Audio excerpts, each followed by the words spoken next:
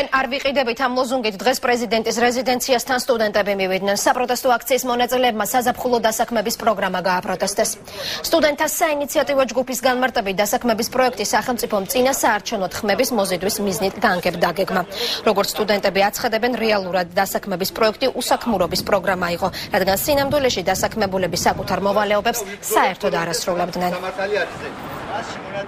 სტუდენტების უმრავლესობამ ანაზღაურებს ჩვენ თავიდან ვაღნიშნავთ რომ სამერ ჯობი არის მოსხიბის მცდელობა სტუდენტების და ეს დადასტურდა იქ რადგან პრეზიდენტმა ცალცახად მიუთითა სტუდენტებს რომ ის სტუდენტები რომლებიც იქ იმყოფებოდნენ თურმე ტრის ოცნებების აღხსნაში არ უნდა იყვნენ დაკავებული და მის რეჟიმის გახაგზავნებაში უნდა იყვნენ დაკავებული და ეს არის პირადად ჩარევა სტუდენტების უხეშად პირადად ცხოვრებაში ჩარევა. ეს იყო არა დასაქმების არამედ უსაქმურობის პროგრამა რამე თუ ამ პროგრამაში მონაწილე სტუდენტების აბსოლუტურმა უმრავლესობამ მიღებამ ანაზღაურება სწორედ რომ უსაქმრობაში აიღო. აქედან გამომდინარე, ჩვენ მიგვაჩნია რომ ეს იყო პირდაპირ სტუდენტების მოსყიდვის ცდელობა წინასაარჩევნო პერიოდში.